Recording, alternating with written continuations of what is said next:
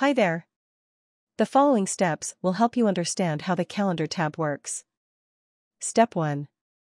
Add due days for bills, then scroll down and do the same thing for debts.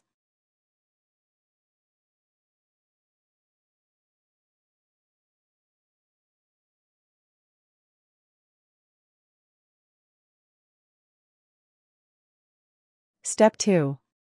Check off bills and debts as you make payments.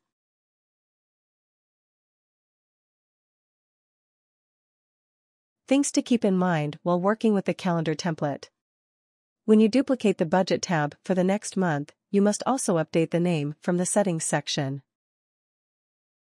The calendar template is dynamic, while the check buttons are static.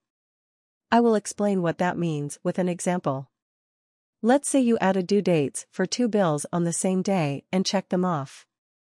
After that, if you add other bills or debts on the same day, some of the bills you just checked off may be pushed down and not be checked anymore. That happens because the list is dynamic and the check buttons are not.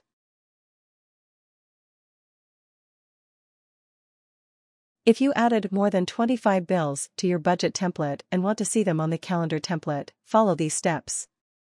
First, scroll down at the end of the bill section and click the two arrows button.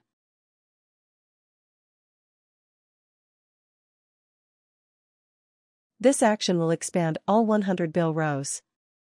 After this, you can hide the rows you don't need by selecting them, right-clicking, and selecting Hide Rows.